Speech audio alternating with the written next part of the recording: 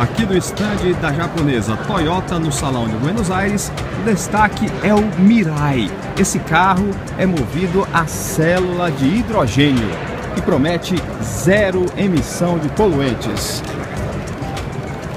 Agora, infelizmente, esse carro não vai ser vendido no Brasil por enquanto, apenas no Japão. Olha aqui a traseira dele, como é arrojada. Diferente. É o Mirai, um dos destaques da Toyota no Salão do Automóvel de Buenos Aires.